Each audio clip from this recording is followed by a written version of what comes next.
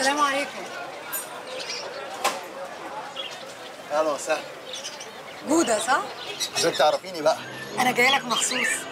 حضرتك بتدور على حاجة معينة؟ آه أنا صراحة كان ليا طلب خاص شوية. طب تشربي إيه الأول؟ قهوتك إيه؟ على الريحة يا جودة جرى قهوة على الريحة بسرعة للاستاذ بسرعة. طب. أنا سامعة إن أنت بتجيب أنواع كلاب بالطلب. آه شوف حضرتك عايز إيه وعيني. هجيبهولك. طب أنا عايزة لابرادور بس أنا ليا طلب صغير. إنه يجي لي يوم ما يتولد من أمي هو يوم ما يتولد دي صعبة شوية. زي ما بيقولوا كده الحيوان لازم يفضل في كنف أمه كام يوم. لا بس أنا هعمل له كل اللي أمه بتعمله له عادي ما تقلقش. لا قولوا لي يا أستاذ. معلش يعني في حاجات معينة الأم هي اللي لازم تعملها. لحد الكلب ما يبقى حلو كده يعني.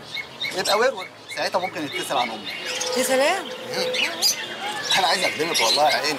بس يعني غصب عني. ما ينفعش يسيبوا بعض على طول. يحسنوا ممكن كمان يتشهروا على بعض. يا شيخ سبحان الله. يعني الحيوانات برضو بتحس وبتتقهر وبتحزن على أمها وكده؟ أمال إيه يا أستاذ؟ طبعا. ده أحيانا بيبقى أكتر من البني آدمين كمان.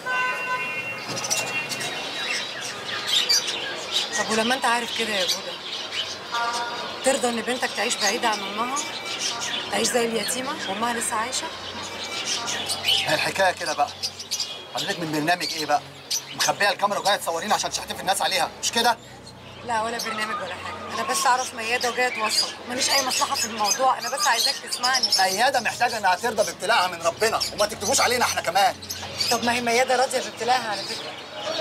هي اللي اتبلت بيه إن جوزها وسندها كسرها، ده بدل ما هي اللي تطلب دوت وتقول خلوني بعيد. وليه تخليها بعيدة عنك؟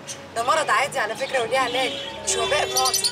ده بدل ما تحوطها أنت وبنتك لحد ما التعب يعدي، محدش بيعدي من المرض ده أنا عديت منه. وعديت بفترة علاج مش سهلة خالص.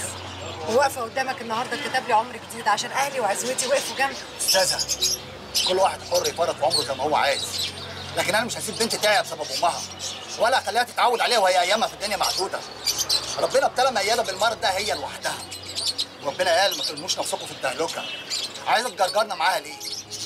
كان نفسي أخدمك لكن للأسف طلبت مش عندي. بعد إذنك.